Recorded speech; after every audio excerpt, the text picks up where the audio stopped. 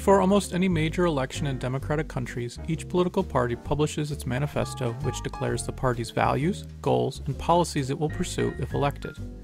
In order to fully inform candidates from that party, as well as voters, manifestos comprehensively cover a wide range of topics.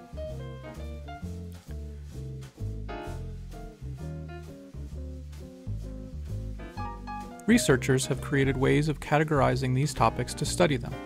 In fact, researchers from the Comparative Manifesto Project have assembled a dataset of manifestos for over 1,000 parties for more than 50 countries across 700 elections. The earliest manifestos in the data generally date back to each country's first post-war national election, so some start in the 1940s, with other countries coming into the dataset in later years. The data include countries from five continents.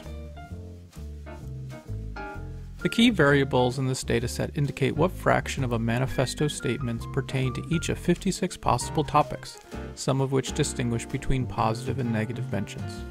Across all of the manifestos, welfare receives the most attention on average.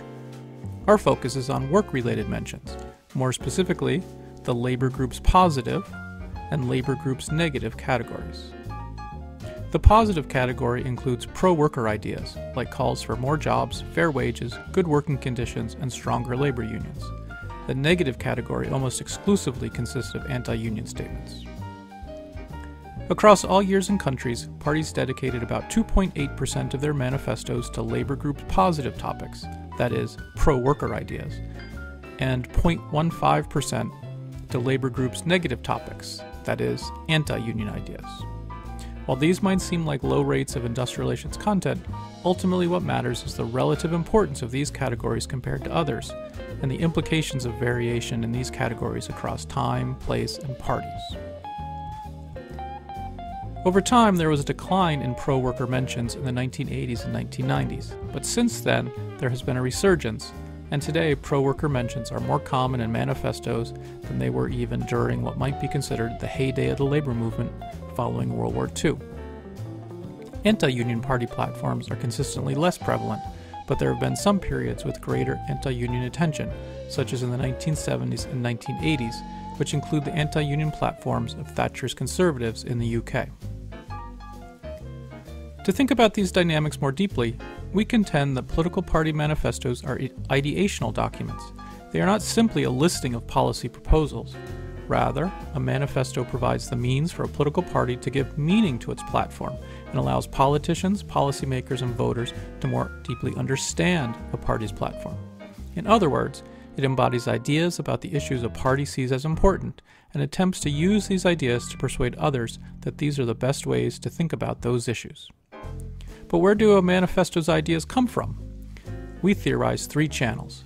One, Party manifesto ideas on work related issues may be rooted in a party's entrenched values based on long standing historical traditions, ideologies, or beliefs about work and workers.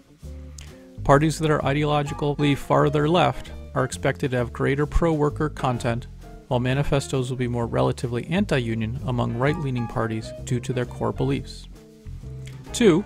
Industrial relations ideas can end up in party manifestos due to new thinking that reflects deviations from the party's long standing ideological positions.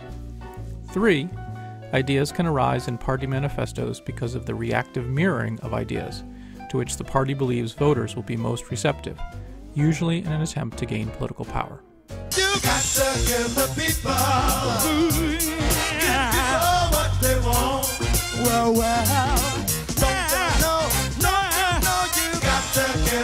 The.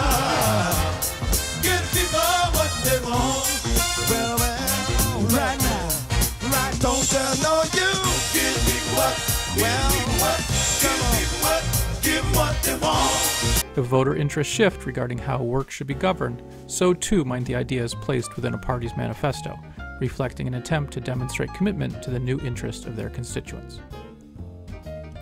We use these three channels to motivate statistical analyses of the frequency of pro-worker and anti-union ideas in political party manifestos using the Comparative Manifesto Project data, combined with other measures that we merge in, although we cannot directly observe the three channels.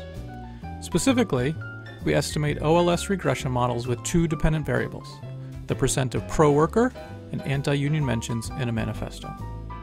Depending on data availability, our regressions have between 2,000 and 4,500 observations. For the full results, see the paper, but here are some brief highlights.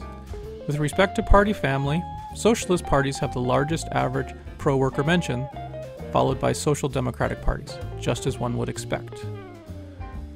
Looking at a party's enduring ideology, as reflected in its mean ideology across all elections, parties that are more right leaning have fewer pro worker mentions than left leaning parties, even controlling for the party family.